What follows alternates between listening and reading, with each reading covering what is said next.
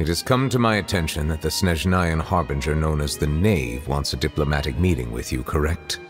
I heard that she was originally from Fontaine, but for her to suddenly arrive here and abruptly request such a meeting like this, I sincerely advise you to refuse her invitation outright.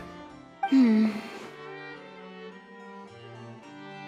I'm sure you're aware that her purpose is most likely related to Childe's recent predicament.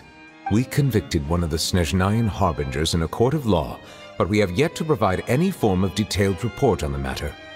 This does indeed provide an opportunity for Snezhnaya to put pressure on us.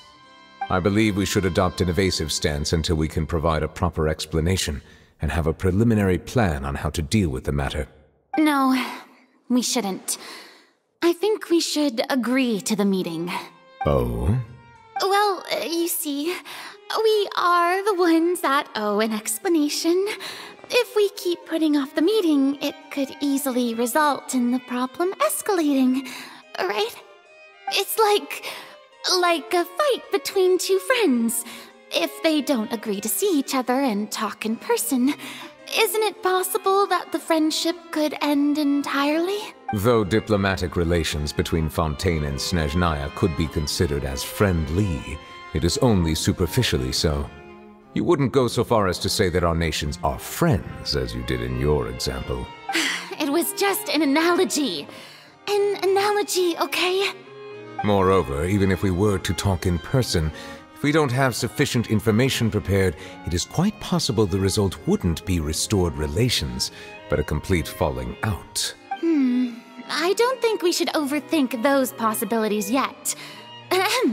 Even if the logic of the divine is not immediately apparent, its wisdom will only be revealed with time. Besides, you'll be at the meeting. If any problems do pop up, you'll have no problem navigating them. I must clarify that interacting and communicating with people outside of court is not my cup of tea. It seems you think too much of me. But more importantly, when did I agree to join the meeting with you? Uh, you mean you won't come? No, no, no, no, that, that won't do. I can't go to the meeting alone. You have to accompany me. I must take you with me.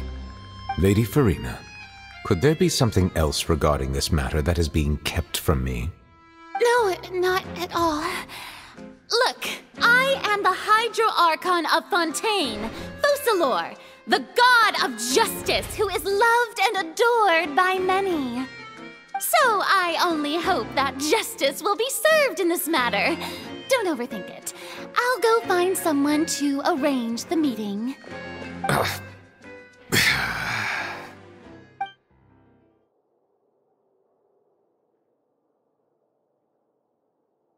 Though it could officially be considered a diplomatic conference, I prefer to see our meeting today as an ordinary tea party. I assume you see it the same way, Miss Furina? Hmm. Lady Furina?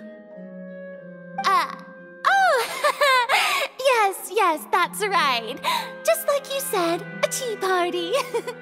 I should thank you for providing the pastries. They look delectable.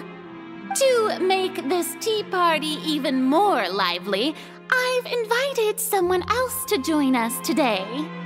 It's a pleasure to meet you, Monsieur Neuvillette. I was born in Fontaine, so naturally, there's no need to introduce the nation's revered Iudex to me. Hello. The pleasure is also mine. First, I would like to thank the two of you.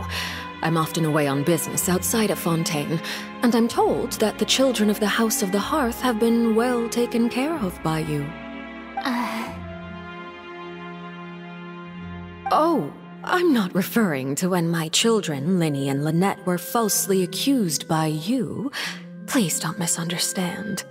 The children of the House of the Hearth are often misunderstood, perhaps due to the reputation of the Fatui. There's no getting around that. All I meant to say is that Fontaine has been stable in recent years.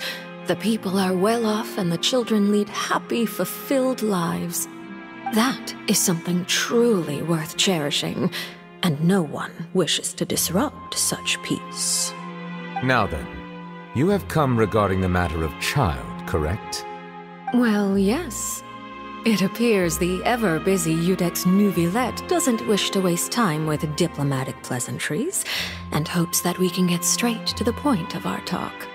Yes, as you surmised, understanding Childe's situation is indeed one of the goals of this trip. As we are both diplomats from Snezhnaya as well as Fatui Harbingers, Childe and I have always been colleagues. Were anything to happen in Fontaine, each of us would serve as the other's attorney to resolve the issue. So now, in my capacity as his attorney, I request that Childe be turned over to Snezhnaya. We have a responsibility to cooperate with Fontaine and resolve what has happened to him together. The rules governing attorneys only apply before a trial has concluded. Since a verdict has already been rendered, we see the case as settled. I apologize for being unable to grant your request an outright refusal. Very well. I respect all the rules of Fontaine's courts, just as I respect you as Chief Justice. Okay, why don't we back up a step? You don't need to transfer Childe to us. I only request to enter the Fortress of Meropide to see Childe and confirm his condition. It's not like you couldn't even manage to fulfill a simple request like that. Right, Miss Furina? Uh, um, about that. The Fortress of Meropide has always been completely autonomous.